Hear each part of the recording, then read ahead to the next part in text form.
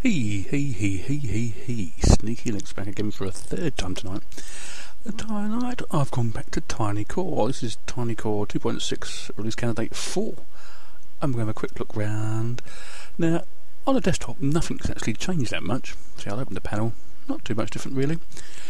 It detects internet straight away, which is the bit I really like, which is really good. Please remember also that to close the boxes, you click on the left hand X not the right hand one, otherwise they'll all start piling up. Anyway, to do stuff in a tiny core, we first go to the app browser and then click on connect. Then all of a sudden you'll get billions and trillions of different downloads. So bearing in mind Tiny Core don't come with anything, it's just a, a, desktop app, basically. Well, it's not a. It's an operating system, but it doesn't come with anything at all. Some of the ones we looked at earlier, they've come with like uh, sound recorders, web, and that. This doesn't come with any of that, but you do get internet connection. So what we've done, we've got Firefox here, and we're going to download Firefox because you do need internet access, don't you? Even on a system like this. Bearing in mind, I'm running from the disk here. So what happened? We click on install and it'll start downloading all the libs and stuff it needs.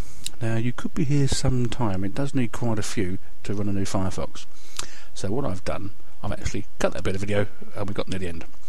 So there we go, that was the last Firefox bit. And there we go, installed successfully. Super duper. So I'm going to close the app browser and we'll click on the Firefox icon and see what it looks like. Five, four, Ooh, before one, even better. We're about slightly larger, that's what them boxes are up there for. The clear one at the end just actually minimises it. So anyway, what we do? We'll close that. Where should we go? Now normally I'd go to the or or something like that, wouldn't I? But no, Firefox is 5. I can't believe it. I think I've been using it forever and ever and ever. So anyway, here we have one of the new open source videos. So what we're going to do, we're going to click on it and see if it plays. And you know what? It does. I was quite impressed. Very impressed indeed. So the story of internet goes down. Never mind. But it does work, so that's the good thing about it. So what I'm going to do, I'm just going to get rid of the browser basically. I'm going to do something else. Now the browser doesn't come with any sound or any flash. Now this is what you do when you want to install that sort of stuff. So we go back to the app browser, click connect, I'm going to run down and normally we go down to get flash but what I'm going to do first is go to the Firefox one again. It's ah, that was my mistake. I thought some more information was on there before about uh, using flash in it but obviously no I was wrong. Because it's here. Look, get flash. Now it's from Adobe so it's not free but it is sort of if you know what I mean. Now if you read there you must have already downloaded the browser and OSS, and you must have started the browser, and you must OSS in started with the sound menu option on.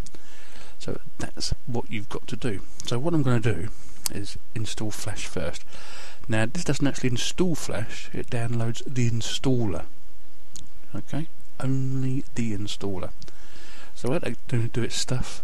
I've cut the video a bit just to make it a bit smaller, otherwise the videos will be far too long. But there, get flash 10 TCZ is done. So we'll close that. So we're going to scroll down again and we're going to go down to OSS. Ah, we're there in a minute. Okay, here we go. We're there, and I've gone past, didn't I? Oh, you silly sausage, Neil. There it is. OSS. So, what we're going to do? Well, of course, we're going to install it.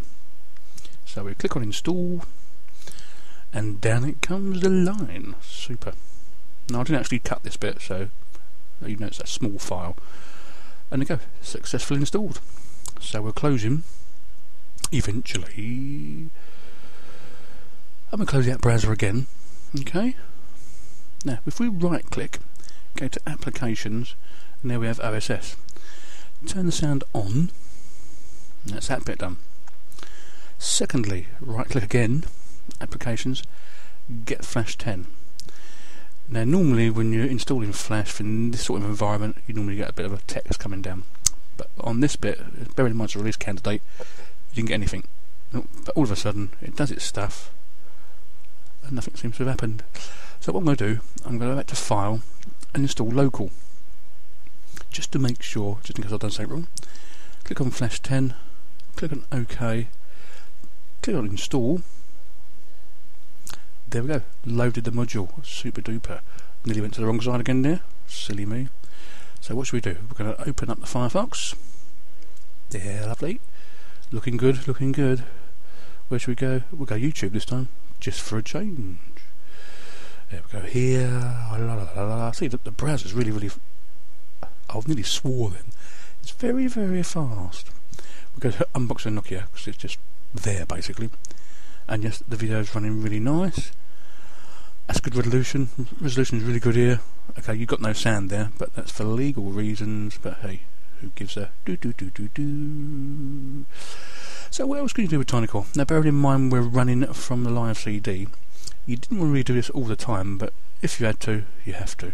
So if you wanted AbiWord, for instance, it's 4.2, yeah, plus all the extras you need for it. So what I've done here, I've clicked to install it, but I've just fooled it quite a bit. Now, if anybody really wants, I will show you how to install TinyCore to your drive or to a directory or partition. But yeah, you have to ask me for that one, I think. We'll close. And there we go, get our icon for AbiWord. So basically, you're all ready to go on whatever computer you want, anywhere in the world, and all from RAM, really. All from RAM. So I think it's super. I don't know what version of AbiWord it is. Let's have a quick look. Go down to Help. AbiWord. It's 268, so that's super cool, really. No, I like it. Really, really like it. All the stuff's under the hood that's been done, but hey, TinyCore is the tiniest core ever. Sneaky Linux out.